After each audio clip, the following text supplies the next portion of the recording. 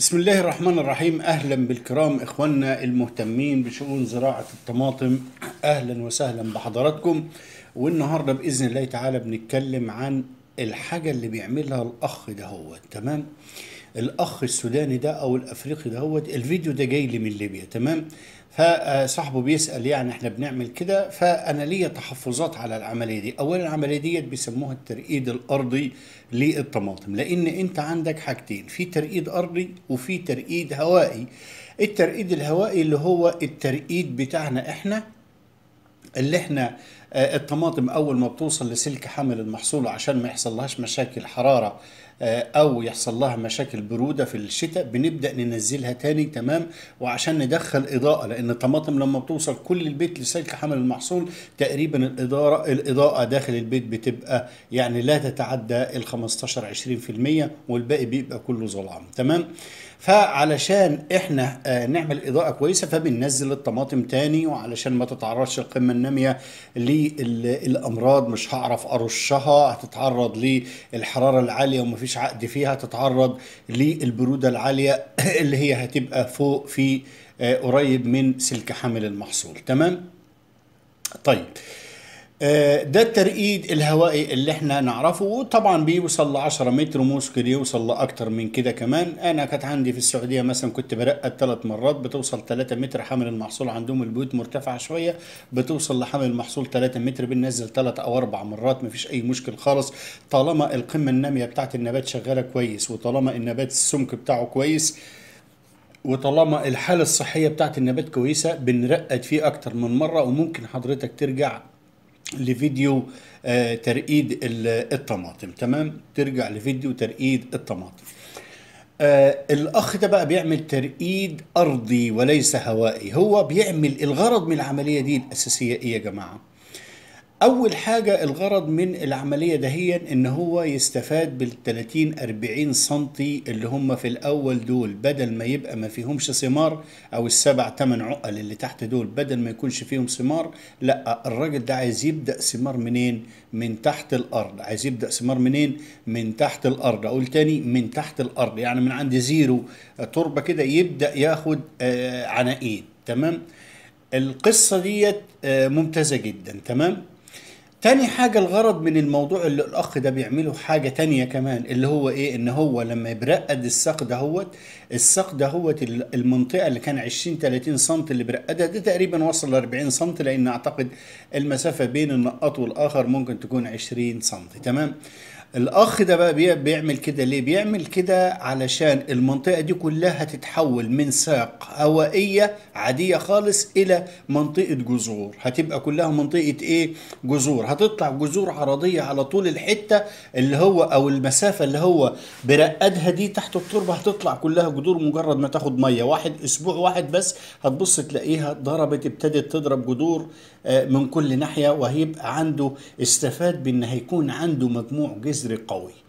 طالما مجموع جذري قوي يا جماعة يبقى هيكون عنده إيه؟ هيكون عنده امتصاص للعناصر بطريقة محترمة جدا. العناصر عنده هتكون محترمة جدا تمام؟ الامتصاص بتاع العناصر. يبقى هو استفاد اول إفادة منها إن هو هياخد آه، آه، ال- الشماريخ الزهرية أو ال- الكلاسترات أو الطماطم يعني عنقود الطماطم. هيبدأ من بعد يمكن 10 سم من التربة أو 20 سم بدل عندنا ما بيوصل في بعض الأماكن ل 70 سم دي أول حاجة عنده. تاني حاجة عنده إن هو النبات بتاعه هيطلع قوي. هيطلع قوي ليه النبات بتاعه؟ النبات بتاعه يا جماعة هيطلع قوي علشان الراجل اللي انت شايفه دهوت المنطقة دي ال- اللي موجودة دي كلها هتبقى جذور هتبقى شبكة جذرية عبارة عن شبكة جذور تمام؟ آه وبالتالي هيكون عنده نبات قوي. بس في مشكلة في مشكلة. العملية من حيث اللي, اللي, اللي بيعمله ده ولا أروع يعني تمام؟ العملية دي ممتازة جدا بس فيها مشكلة. إيه المشكلة؟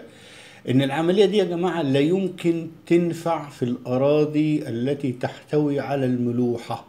يعني لو واحد عنده أرض فيها ملوحة اعمل حسابك ده دمار شامل للملوحة لل- لل- لل- لل- للنبات عنده.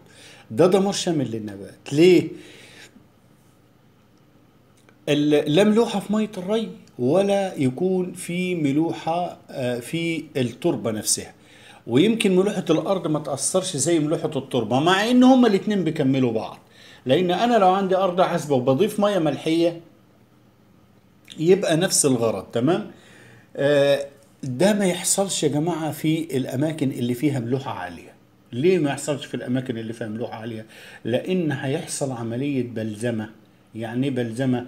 يعني بدل النبات هيتهرى. هيتهرى اللي هو رقاده ده في التربة اللي انت بتشوفه بتحطه في التربة ده ده هيتهرى والأملاح هتاكله خالص. وهيبدأ النبات يصفر. يصفر ليه؟ لأن بدل النبات ما يوصل عن طريق الجدر العناصر الغذائية والمية ما بتوصل من من خلال الجدر تطلع لفوق للنبات لا ده هيبدأ هيحصل العكس. ليه؟ اللي في حاجة بيسموها قوة الشد الرطوبي. أو أنت لو أنت مجروح جرح كده وحطيت عليه ملح هتبص تلاقيه بينبض كده. بينبض ليه؟ لأن الملح بيشد الإيه؟ بيشد الدم يبقى قوة الشد الرطوبي لو الأرض فيها ملح هتبقى أكتر وبالتالي هيبدأ يشد المية اللي موجودة في النبات وبالتالي النبات هيدبل ويموت. ده طبيعي تمام؟ انت لما بتذبح فرخة ولا بتاع ومش عايز فيها دم وتحط عليها ملح الملح ده بيعمل إيه؟ بيشد الدم اللي فيه لأن قوة الشد الرطوبي الرطوبه اللي هي المية يعني قوة شد ال- الأنسجة فيها مية محتفظة بالمية بالخلايا اللي بتاعت الأنسجة محتفظة بالمية. طب بس الملح زايد بره وقوة الشد بتاعت الملح أكتر من قوة الشد اللي داخلة الخلايا بتاعت النبات. مين اللي هيغلب؟ الأملاح. هيحصل ارتجاع للعناصر الغذائية. من من النبات دهوت من من المية قصدي اللي في النبات هتحصل ارتجاع من المية اللي في النبات ده هترجع للتربة طالما التربة عند حضرتك ملحية. يبقى ال- القصة دي ممتازة جدا ممتازة جدا جدا جدا. ولكن يعاب على القصة دهيا إن هي بتعتبر انتحار وبتعتبر دمار شامل للأرض بتاعتك طالما حصل فيه حاجة. إن هو إيه؟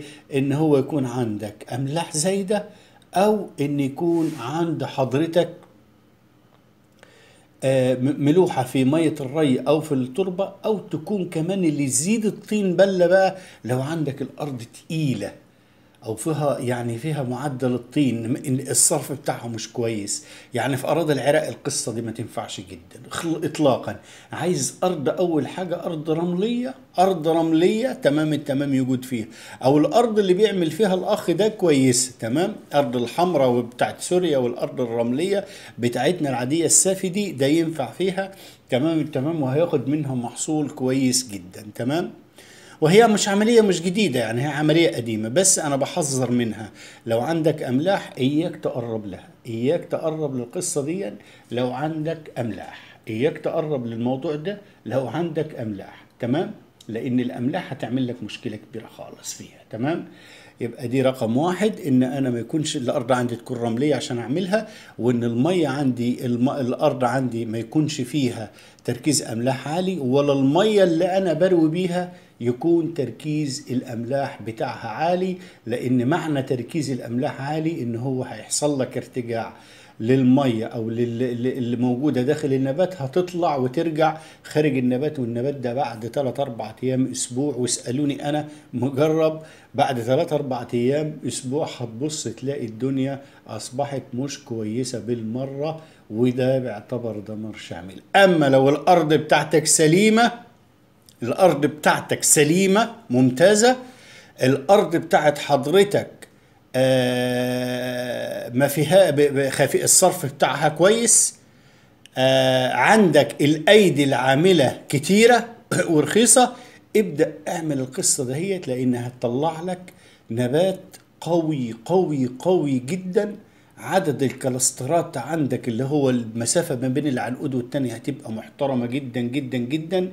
غش الطريقة من الراجل دهوت واعملها تمام؟ وهتلاقي نفسك يعني آه، ما شاء الله ال- ال- الدنيا آه، زي الفل معاك. لأن أنت بالعملية دهيت زي ما قلت لك أنت زودت ال- الجذور العرضية. أنت زودت الجذور العرضية بالنسبة للنبات اللي حضرتك شايفه ده. جوز ج- ج- ال- ال- الجذور العرضية زادت جدا وبالتالي قوة الامتصاص بتاعت العناصر هتكون آه، مرتفعة جدا جدا جدا وهتشوف نبات ولا أروع. هتشوف نبات ولا أروع ولكن بعد العملية دهيت المفروض نضيف مية كتيرة وبعد كده بنبدأ نحط أي مزول مزيل أملاح. أي مزيل أملاح. تمام؟ هتلاقي دنيتك. بسم الله ما شاء الله كويسة جدا. أه بشكركم. والسلام عليكم. أه ورحمة الله تعالى وبركاته. حياكم الله جميعا.